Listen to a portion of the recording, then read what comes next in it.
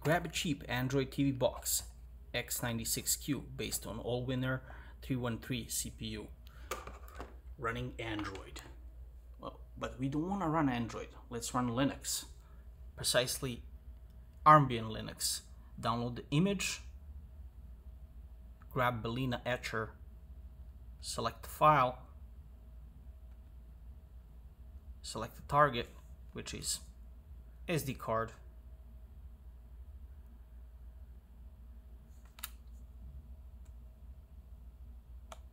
and then flash. Power off the unit and put the SD card back in. Plug in power supply and wait for the Armbian to start booting. Now you have a Linux on it.